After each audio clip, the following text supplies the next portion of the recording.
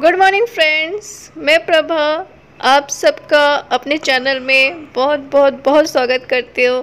आप सब कैसे हैं? होप आप सब अच्छे होंगे और मैं भी अच्छी हूँ। और ये सुबह का नाश्ता बन रहा है पूरी और आलू की मसालेदार करी। तो ये मेरा भी बहुत फेवरेट है और हस्बैंड को भी बहुत अच्छा लगता है। तो आप सब भी आ जाइए नाश्ते में। तो हमने तो खाना शुरू कर दिया है। और ये देखिए हस्बैंड की कॉमेडी भी शुरू हो गई। पूरे दिन में कुछ ना कुछ कॉमेडी करते ही रहते हैं। तो कोरोना टाइम में कहीं आना जाना भी नहीं है, हमेशा घर में ही रहना है। तो हम दोनों का अच्छे टाइम पास हो जाता है एक दूसरे के साथ ही।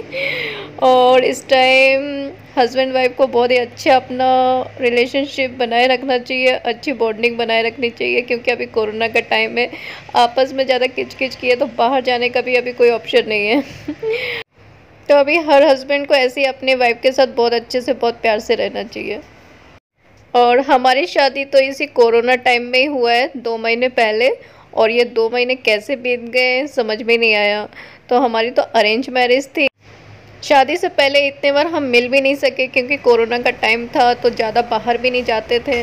तो सिर्फ़ फ़ोन में ही बात करें तो मैं सोचती थी कि शादी के बाद हमेशा ट्वेंटी फोर आवर्स साथ में रहना पता नहीं कैसा रहेगा क्योंकि हस्बैंड है आईटी कंपनी में तो वो वर्क फ्रॉम होम ही करते हैं, घर से काम करते हैं। तो मैं सोची थी ट्वेंटी फोर आवर्स एकदम से साथ में रहना पता नहीं कैसा रहेगा क्योंकि यदि ऑफ़िस जाते तो धीरे धीरे एडजस्टमेंट हो जाता है लेकिन अभी ऑफ़िस भी नहीं जाना है। लेकिन हम बहुत अच्छे से चल गया मैंने हमारे आपस में बहुत अच्छी बॉन्डिंग हो गई, कभी झगड़ा भी नहीं हुआ दो महीने में और बहुत ही अच्छा रिलेशनशिप डेवलप हो गया। तो कोरोना के टाइम में तो सभी को प्रॉब्लम जा रही है, कोई बीमार हो रहा है तो बहुत सारी डेथ भी हो रही है तो सभी परेशान है। लेकिन ये सब के बीच में एक बात ये भी है कि हमें आपस में एक दूसरे के साथ रहने का बहुत टाइम मिल रहा है। तो आप उस टाइम का यूज़ कीजिए और एक दूसरे के साथ बहुत अच्छा रिलेशनशिप डेवलप कीजिए और बहुत अच्छी बॉन्डिंग बनाइए। तो ये मेरी सुबह की क्लीनिंग का काम चल रहा है।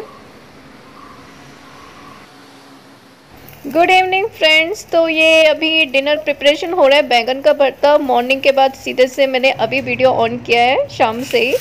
तो चल रही है डिनर का प्रिपरेशन बैगन सीख गए वो देखिए पीछे हो भी रहे हैं तो ऑलमोस्ट हो चुके हैं।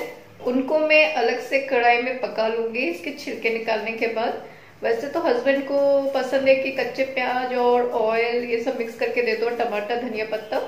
लेकिन मैंने बोला कि चलो, मेरी स्टाइल से भी खा के देखो, क्योंकि उनको कौन सा अच्छा लगता देखते हैं।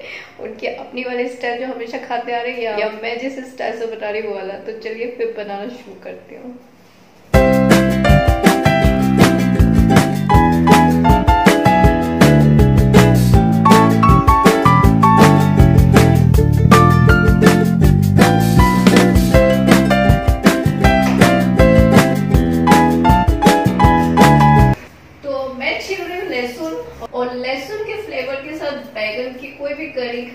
भरता उसका जायका कुछ बढ़ ही जाता है मीन्स दुगना हो जाता है। तो लहसुन तो बिल्कुल मैंडेटरी है बैगन के साथ। तो भले ही लहसुन छीलने में थोड़ा टाइम लगता है, लेकिन टेस्टी खाना है तो छीलना तो पड़ेगा ही। और मुझे ना लहसुन का फ्लेवर थोड़ा ज़्यादा ही चाहिए रहता बैगन में, इसलिए मैं थोड़ा ज़्यादा क्वांटिटी में लहसुन डालती हूँ। और मिर्ची तो उतना हस्बैंड को पसंद नहीं है तो मिर्ची में थोड़ा सा कमी डालूँगी। तो मैंने यहाँ पे लहसुन का छोका लगा दिया है और इसके बाद मैं प्याज डालूँगी।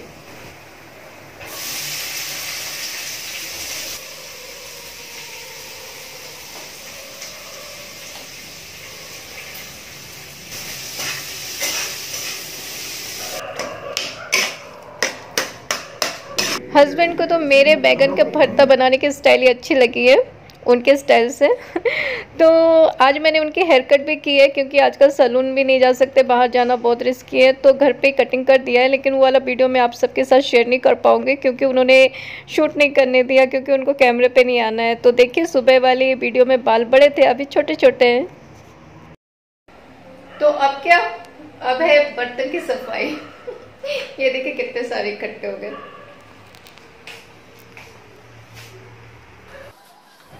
बर्तन की सफ़ाई तो हो गई है और अभी चल रही है किचन की सफ़ाई। तो मैं जितना भी रात हो जाए कुकिंग के बाद मैं ऐसे ही गंदा किचन नहीं छोड़ती हूँ तो पूरे बर्तन भी साफ़ कर देती हूँ और पूरा ये प्लेटफॉर्म और पूरा चूल्हा सब साफ़ करके ही सोती हूँ। तो अभी भी फटाफट सफ़ाई कर दे रही हूँ। और फिर इसके बाद जाना है सोने। तो चलिए फिर मैं भी अपना वीडियो यही पेंट करती हूँ। यदि आप लोगों को यदि अच्छा लगा होगा तो एक लाइक कर दीजिएगा कमेंट कर दीजिएगा, और नए हैं तो सब्सक्राइब कर दीजिएगा। तो चलिए फिर मिलते हैं नेक्स्ट वीडियो में। के लिए बाय बाय